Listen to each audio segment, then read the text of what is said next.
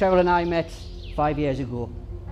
I moved back to Newcastle in the summer of 2014, having lived down south for a number of years. And when I initially moved back, I was really unsettled and unsure of what I wanted to do next. And I felt a little bit lost, to be honest. But then after a few months, I met Cheryl and everything just started to fall into place. I knew that I'd made the right decision in coming back home and I'd eventually found a woman that I wanted to spend the rest of my life with.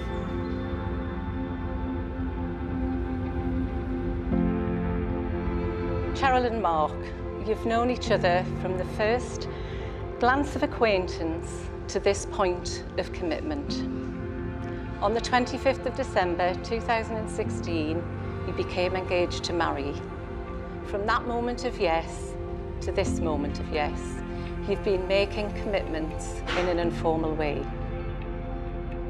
To be brutally honest, I can't remember the first time I properly met Cheryl.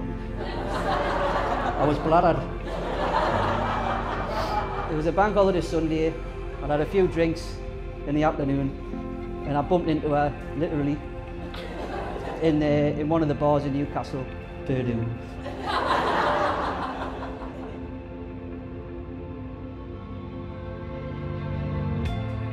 I call upon these persons here present to witness that I, Mark William Beatty, do take thee, Cheryl Day, to be my lawful wedded wife.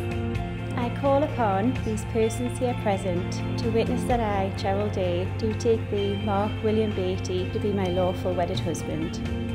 Cheryl, from this day forward, I promise to share my life with you, to laugh with you, to be proud of you, never take you for granted, always take care of you, and to be faithful to you. I promise to love you for the rest of my life. Mark, I promise to love and care for you and to be faithful to you always, to laugh with you and to cry with you, facing life together wherever it may take us. Let us always remember the feeling that we share for each other and the joy of this, our wedding day. But I knew from an early stage that this was the woman that I wanted to spend the rest of my life with. And I think you know when you have that feeling. I had never met anybody like Cheryl before. And I learned very quickly that Cheryl is the kindest, the most caring, compassionate and creative person that I've ever met. You are now united as husband and wife.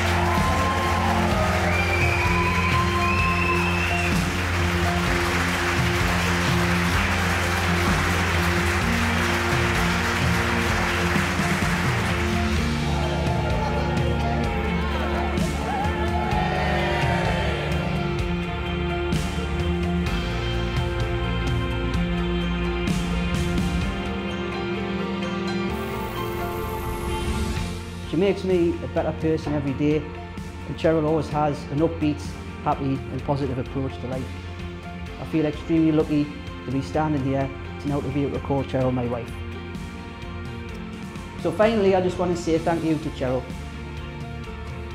Cheryl, I tried to prepare myself for how amazing you would look today on our wedding day. But when I first saw you today, I couldn't quite believe it. You took my breath away with how incredible you looked I love all the things that make you you. I love how much compassion you have, even for people that you've never met. I love how you worry about the little things because it shows that you really care.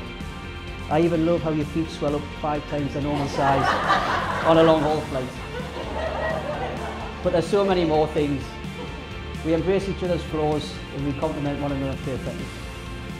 You know everything about me, the good and the bad, and you love me all the same. Thank you for being the most beautiful, funny, honest and life-affirming woman that you are. I consider myself an extremely lucky man and I can't wait to spend our lives together as husband and wife.